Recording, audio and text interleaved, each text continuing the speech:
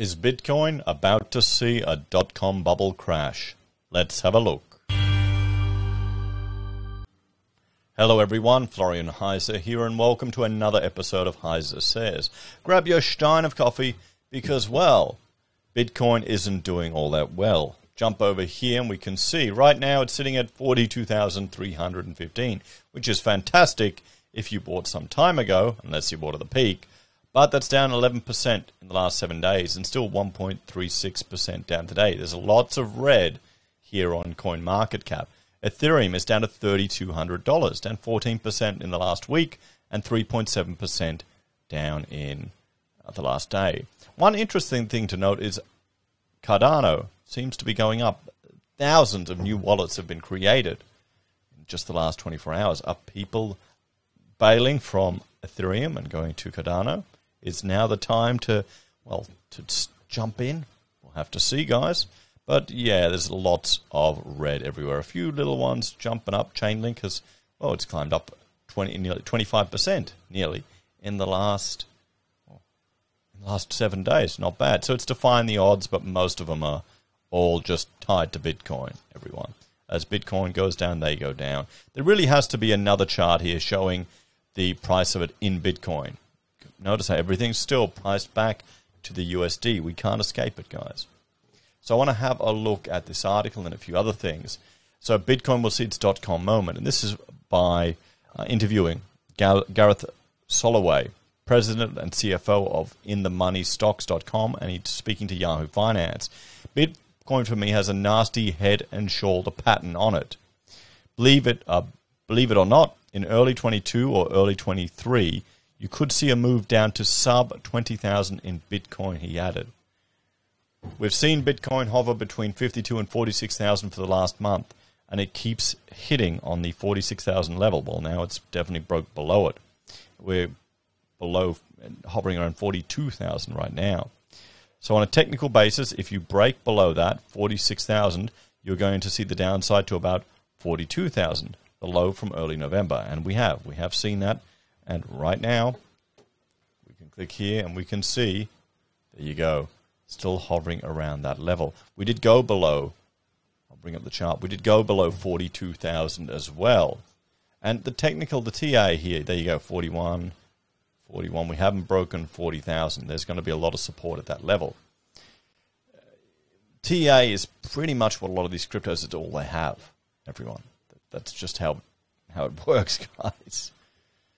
Um, the digital coin broke a key support level on Wednesday following the latest FOMC minutes, which highlighted a more hawkish discussion among Fed officials that's, uh, than what the market anticipated. So, crypto is no longer uh, an uncorrelated asset.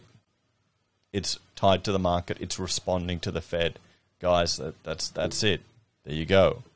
Isn't it meant to be a hedge against the uh, the market? Isn't it meant to be an alternative way to space to invest? Not really anymore. It doesn't seem. Soloway highlights another pattern. When the Dow and S&P 500 saw a Santa Claus rally coming into the new year, Bitcoin had continued to falter in the last month. It is now more than 35% off its all-time high levels from November. There's some little disconnect with cryptocurrency as a riskier asset, and I do worry that it, including Ethereum, will start to see further downside, said Soloway. The technician predicts gold will outperform the S&P 500 and Bitcoin for this year. However, long term, he still believes Bitcoin will be the place to be. You look 5 years out, Bitcoin is easily at $100,000, maybe even 250. Yeah, but how many times are we saying that? And it depends. He doesn't know if more countries will restrict Bitcoin. Look at what happened in Kazakhstan. The Bitcoin miners in that country were putting so much pressure, the grid fell over. China's banned it, India may ban it, and it's not going to disappear, don't get me wrong. It just may not get mainstream adoption. And sure, a few large corporates have bought it, but we'll have to see. I don't know, I, I just don't think it's going to. Let's just say I believe that the uh, central banks will do everything they can to protect their monopoly on the ability to control control the, the monetary system. So, but for me, I'm looking at the leverage in the system, including the stock market, he said. The Federal Reserve's plan to reduce its balance sheet and likely raise interest rates this year is going to take a lot of money and liquidity out of the system. Bitcoin and cryptocurrencies are going to see their dot com moment over the next year or two, he added. Now, he's not the only one that's making these type of predictions. A prominent Twitterer, Mr. Whale, is making these predictions as well. I used to be one of the most hated pages on crypto Twitter when I was urging people to take, to take profits at 69,000. As the bear market rumbles on, as I predicted, and BTC plummets below 40,000, all of my haters are dead, silent, and liquidated. Thoughts and prayers. This is eight hours ago. Bitcoin is tanking fast. Now watch as all the crypto exchanges collude to go offline to stop prices from plunging too far. Happens every time. The market is rigged by the few at the top.